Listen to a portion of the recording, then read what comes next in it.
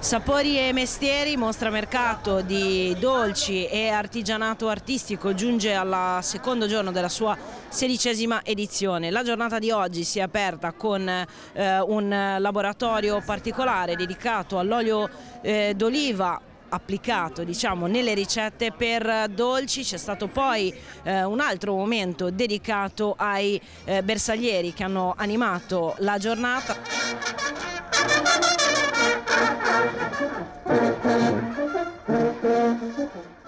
Senza dimenticare chiaramente il contributo delle scuole con un altro concerto.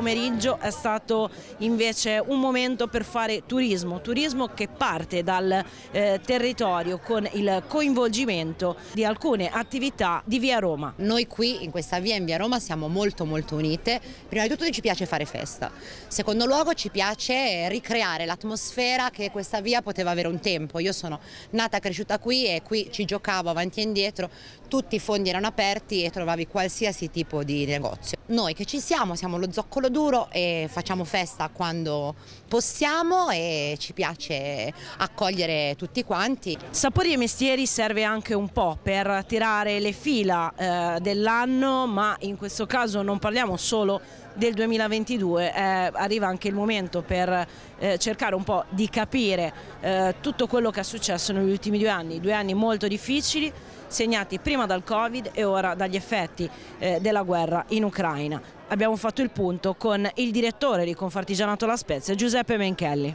Questa ormai fa parte della tradizione di questa città e è un po' l'inizio, con fine novembre, è l'inizio di quel periodo che poi si conclude, no? che precede le feste di Natale.